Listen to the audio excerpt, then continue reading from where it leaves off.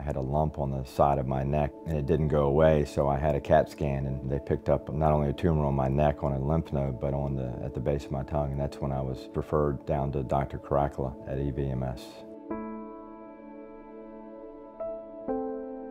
It rocks your world. You know, you're a 51 year old, uh, relatively healthy guy, fairly active. You don't expect that.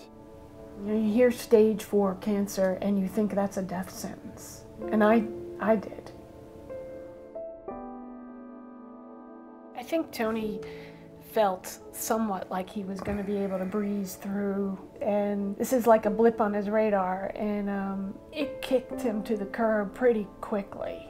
I was having trouble swallowing and eating, and I was getting weak, so I had a group of my buddies who were driving me uh, to treatment every day.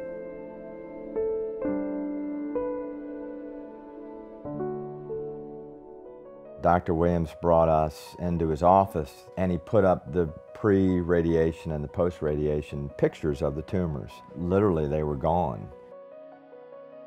The folks at EVMS have just been outstanding. We are so fortunate to have doctors like that. I appreciated how calm all of them were, but certainly Dr. Williams has got a very calm demeanor. I look at EVMS in a much different light. I had the perception that if somebody in my family got cancer, I would be going up to New York.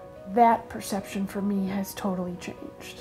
If it wasn't for EVMS, I wouldn't be where I am today. You come out a different person on the other side of this. You try not to sweat the small stuff. You realize what's important. I'm 51 years old. We've got four kids and a cat and a dog, and we've got too much to do.